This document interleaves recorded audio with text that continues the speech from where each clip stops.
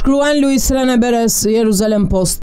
A është normal Vladimir Putin? Edhe në pamje të parë, kjo pyetje e vrazhdë nuk ofron asnjë perspektivë për ndonjë njohuri analitike të përdorshme. Në hartimin e politikës së jashtme të çdo kombi, përkufizimet e arsyeshme të normalitetit duhet të mbeten pandreqshmërisht subjektive dhe të vështira për t'u përdorur. Një pyetje më e mirë për Shtetet e Bashkuara të Amerikës dhe aleatët e saj të NATO-s, do të ishte të vihej në pikëpyetje racionaliteti i diktatorit rus. Në disiplinën studimore të politikës botërore, një udhëheqës racional është ai që vlerëson mbijetesën kombëtare më shumë se çdo preferencë tjetër apo një kombinim preferencash. A është kjo ajo që shohim aktualisht në Kremlin? A e përshkruan me saktësi Putinin një rend i tillë preferencash, apo ai është i gatshëm të tolerojë rreziqe të mëdha sigurie për Rusinë në këmbim të pushtetit dhe prestigjit të tij personal? Për momentin ky është një supozim pak a shumë i besueshëm i cilitdo.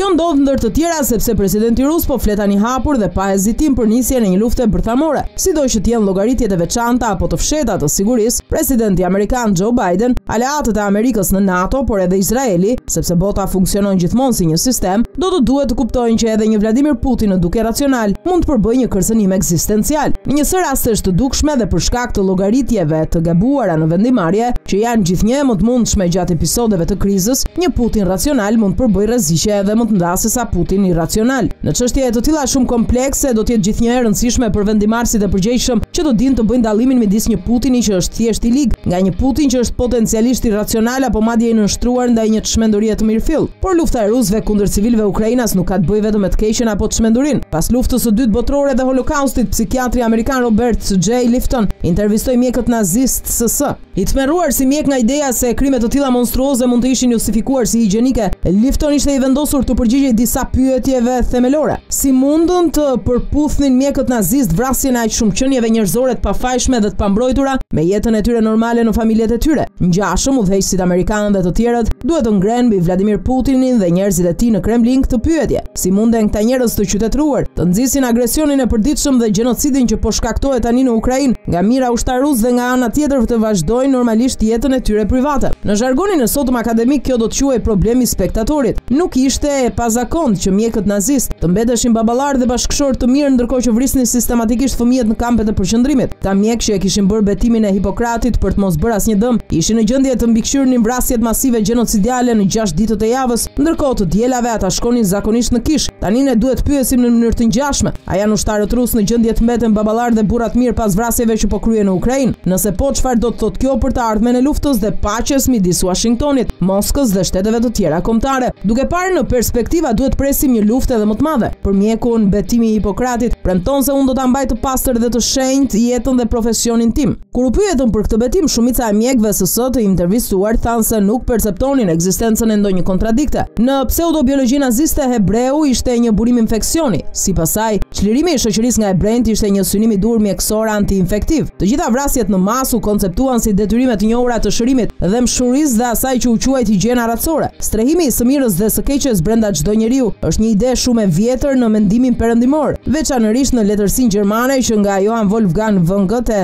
dhe Friedrich Nietzsche deri tek Hermann Hesse dhe Thomas Mann. Duke studiuar atë literaturë shumë të çmuar, njerëzit mund të mësojnë se kufijtë delikatë të kujdesit dhe dhembshurisë ekzistojnë brenda çdo personi individual. Dhe ndërsa krimet si ato që u gjykuan në Nuremberg po vazhdojnë të përshkallëzohen në Ukrainë me urdhër të Putinit, ka ardhur koha të pranohet se muret e normalitetit, Anormalitetit dhe racionalitetit njerëzor janë dukshëm të përshkrueshëm. Ato mund të lejojnë edhe një individ të vetëm që të luhatet midis sjelljeve ekstreme. Pasi mori pjesë në gjyqin ndaj nazistit Adolf Eichmann në vitin gjashtëdhjetë e një në Jeruzalem, filozofja politike Hannah Arendt ngriti hipotezën se e keqja tek njeriu mund të jetë e zakonshme ose banale. Sot, ndërsa urrejtjet që nxisin dhunën po kanalizohen nga presidenti rus Putin tek pasionet luftarake mizore për hir të nënës Rusi, Banaliteti mund të përshpejtojë jo vetëm gjenocidet e tjera, por edhe luftërat ndërkombëtare më katastrofike. Rasti më i keq do të ishte nga një luftë bërthamore. Tek e fundit në të gjitha çështjet e dukshme të luftës kriminale të Rusisë kundër Ukrainës, e vërteta do të jetë shfajësuese. Lum ata që e dinë ende se pas të gjitha fjalimeve fshihen gënjeshtra të papërshkrueshme. Me këto vargje poeti gjerman Rainer Maria Rilke ankohet për gënjeshtrat e të gjithë despotëve. Megjithëse veçoritë virulente të gënjeshtrave të tilla po ndryshojnë vazhdimisht në mbarë botën, kuptimi i përgjithshëm i tyre mbetet i njëjtë dhe domethënës. Edhe pse në përgjithësi nuk pranohet, qeniet njerëzore normale janë ende në gjendje të kuptojnë se në një botë supozuar anormale, të mos qenit anormal mund të shprehej një formë çmendurie unike. Edhe nëse Putin do të gjykohej nga ekspertë të njohur si krejtësisht racional, ai do të mbetej një kërcënim shumë ekzistencial ose gati ekzistencial ndaj rendit botëror.